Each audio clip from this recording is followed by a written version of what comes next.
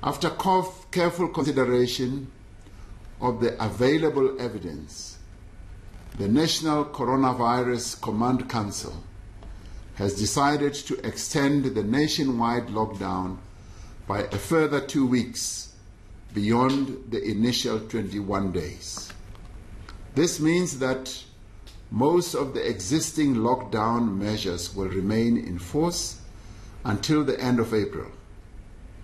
We will use the coming days to evaluate how we will embark on risk adjusted measures that can enable a phased recovery of the economy, allowing the return to operation of certain sectors under strictly controlled conditions.